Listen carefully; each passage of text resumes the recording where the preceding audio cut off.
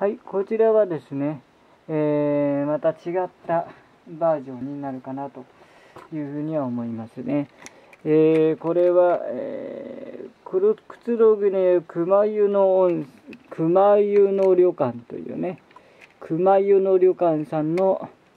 まあ、バスと。だ実際こういうカラーリングで走ってるんでしょうね。まあなかなかこれもこれでね、こう面白いこの赤い色がまたなんか何とも言いようのないこの赤い色っていうのが、あの、いいなと思いますし、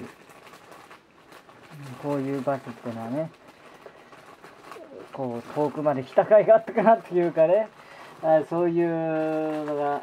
しましてなかなかいいもんでございますね。こういうあのぶらりなんとかの旅じゃないですけどね、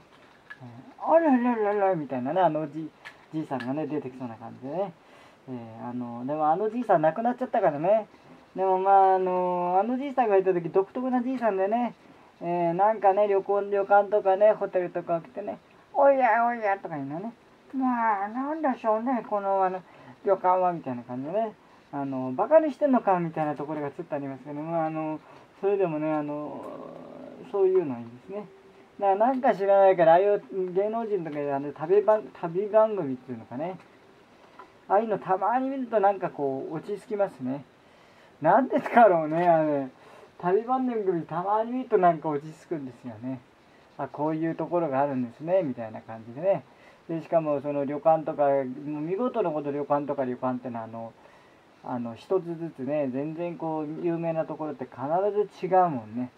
その旅館にしか来ていただけたことを味わえることができない独特さがありますからね。それがみんな違うんだもん旅館によって。そういうところがね非常にこういう車のね良いなと思うところですね。これもこう赤茶色の感じでなかなかいいなと思います。どうもありがとうございました。